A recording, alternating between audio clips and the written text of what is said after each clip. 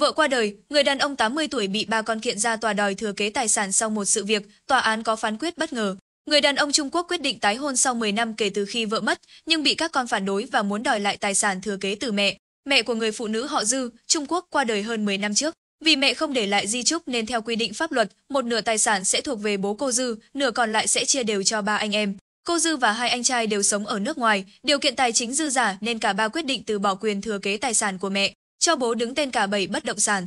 Họ cũng thuê người chăm lo cho cuộc sống của bố khi các con đều ở xa. Sau khi hoàn tất thủ tục, cả ba đều nói rằng sẽ không hối hận và nhanh chóng rời khỏi nhà. Cô Dư và các anh trai cũng nghĩ nếu sau này bố đến tuổi gần đất xa trời, gần như chắc chắn tài sản sẽ chia lại cho họ. Ảnh minh họa, điều ba anh em không ngờ đến là việc người bố 80 tuổi bất ngờ tuyên bố sắp tái hôn.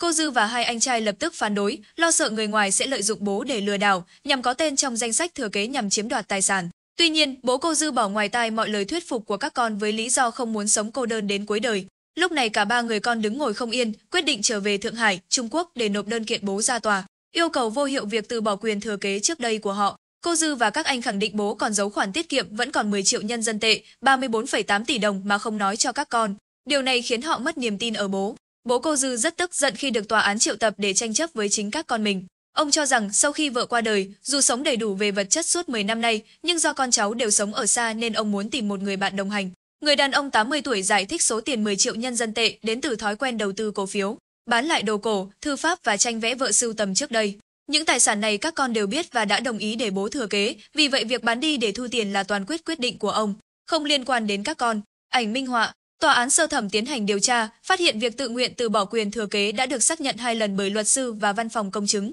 Trong quá trình công chứng, cô Dư và các anh đã được thông báo toàn bộ thông tin và chấp nhận tự nguyện từ bỏ quyền thừa kế sau khi xem xét kỹ lưỡng. Văn phòng công chứng đảm bảo tính hợp pháp, chính đáng của văn bản từ bỏ quyền thừa kế. Mặc dù mục đích ban đầu của họ khi không thừa kế tài sản của mẹ là để bố có cuộc sống tốt hơn trong những năm cuối đời, nhưng theo quy định pháp luật, một khi quyền thừa kế đã được từ bỏ và công chứng thì không thể thực hiện lại. Vì vậy, tòa án cho rằng đơn kiện không có căn cứ để thực hiện vô hiệu việc từ bỏ quyền thừa kế trước đây. Bộ luật dân sự Trung Quốc quy định con cái phải tôn trọng quyền hôn nhân của cha mẹ và không được can thiệp vào việc cha mẹ ly hôn, tái hôn hoặc cuộc sống hôn nhân của cha mẹ. Bên cạnh đó, người cao tuổi vẫn được tự do kết hôn, vậy nên yêu cầu từ phía cô Dư cùng các anh trai bị tòa án hủy bỏ. Ảnh minh họa, tòa án phúc thẩm cũng có kết luận tương tự, vậy nên ba người con họ Dư không thể đòi lại tài sản của mẹ mà họ đã từ chối trước đây. Vụ việc gây chấn động dư luận địa phương. Hầu hết cư dân mạng đều tiếc nuối khi tình cảm gia đình bị chia rẽ bởi tài sản thừa kế. Có người nói bố cô Dư khả năng cao bị lừa đảo, gia đình vẫn nên theo dõi và quan sát tình hình để tránh thất thoát tài sản. Cũng có người cho rằng ba người con đã từ bỏ thừa kế cho bố này muốn lấy lại là vô lý và sai lầm khi thay vì cùng tìm cách giải quyết lại chọn đưa bố mình đã 80 tuổi ra tòa. Kim Linh